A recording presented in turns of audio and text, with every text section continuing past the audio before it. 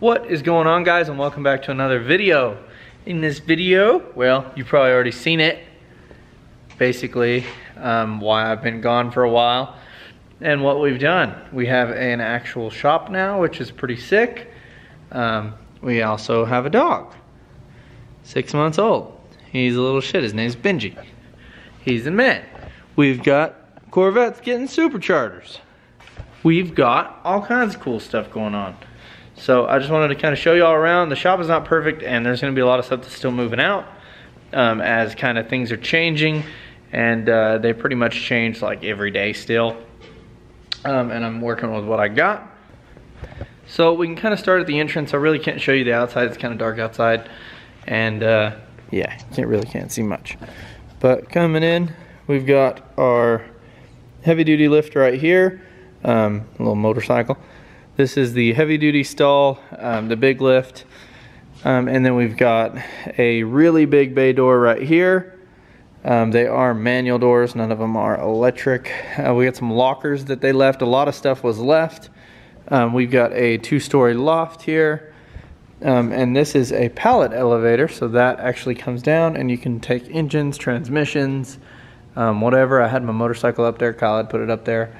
Um, got our Mobil One flag, Texas flag, and the US flag. Um, a lot of this stuff will be moving. Um, it's just stuff that, again, was kind of here. And then the uh, little dresser thing was in here kind of temporary. Got some tools. Um, got Kyle's engine on a stand. It's a 7M uh, GTE or whatever. So it's like the turbo six cylinder, three liter that Toyota had had in the Mark 3s. Um, jack stand, cherry picker, transmission jack, press. Um, got a little cheap pipe bender thing. Um, what else? Well, I'll save, or let's go upstairs. It's got a full restroom with a shower, which all that'll be getting painted and stuff. So, and then up here, we've got um, my tire collection, um, a bunch of intercooler piping, exhaust piping, stainless piping, wiring harnesses for 240s, um, the winch. This is a lot of storage. Up, Benji, hey, stop eating that. And then over there, sorry, and then over here, we've got a lot of parts, a lot of Volkswagen stuff. Um, some takeoff parts, and then we've got some stuff for the Corvette, um, my dra little drag pack, um, some stuff for my C10. Yes, I bought a C10. Um, the hood for the DSM down there, and then we've got a the hood for the Vet, and then here's the pallet elevator, which is pretty sweet. It's a little scary to operate, you know. She's a homemade deal. Benji, cut it out. But yeah, so we'll head on down here. And we've got all the pipe, or all the conduit ran in pipe. That, that one's kind of weird, but they, these ones are good. Um, we've got the Talon that I built a 4G63 for. Um, we ended up actually getting the car and throwing it in, um, fired it up and stuff. Thing sounds pretty mean. Uh, just doing the Brembo brake conversion off of an Evo, a couple other small things, and that car will hopefully be good to go.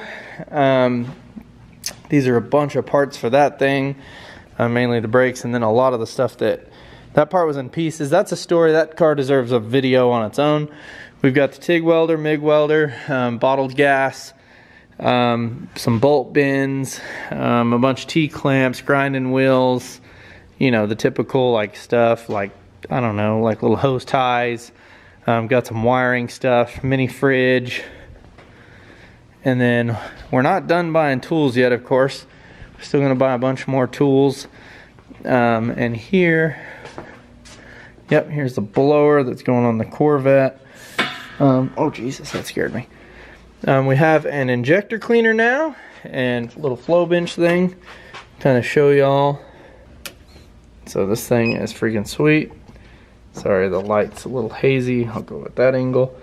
Um, you can basically go to ultrasonic bath back here and then um, a bunch of other settings. Um, so like in this case, everything's hooked up. Yep, I don't see why not. You can lock it so you can see how much the injectors are flowing.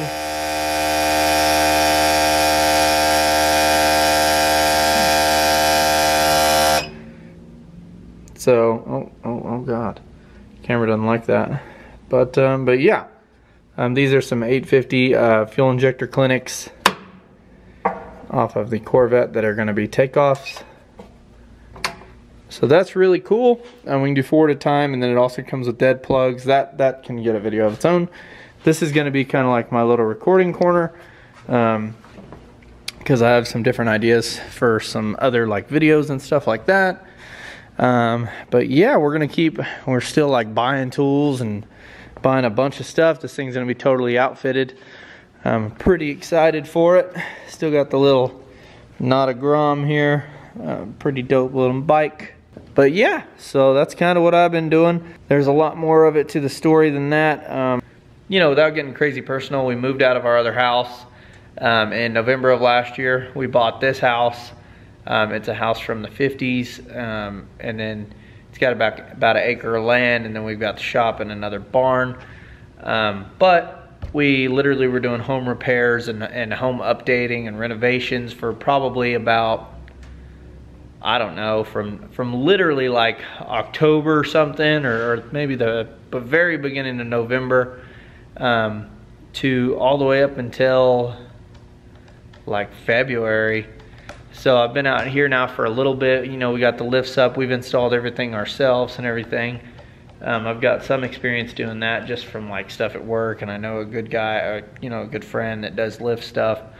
Um, and then the hardest part was just getting them because like everybody's out of stuff, and the same thing with like um, a couple other tools. Like I want to get like a, you know, you'll just see tire machine, balancer, and that kind of thing.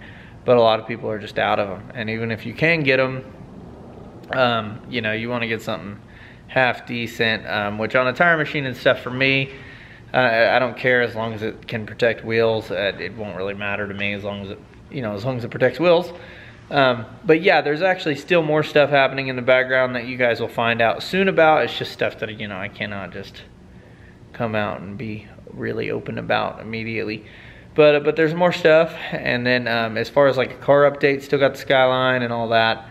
Um, and then I bought a 84 C10 off my brother-in-law and I've done some stuff. I rebuilt the automatic uh, trans on it uh, right here a couple weeks ago.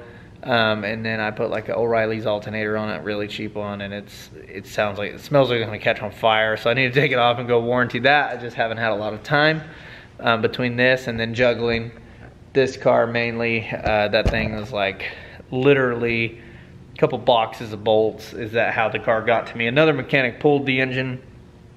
We went and rebuilt the engine, um, delivered it to the customer, uh, and then, uh, yeah, dude's kind of gone. I don't really know the full story, but I just kind of leave it be because being mad about it's not going to solve your issues on it. So you might as well just, you know, whatever, let it slide. It was a good experience. It was uh, definitely a fire up that I was like, I felt extremely accomplished about.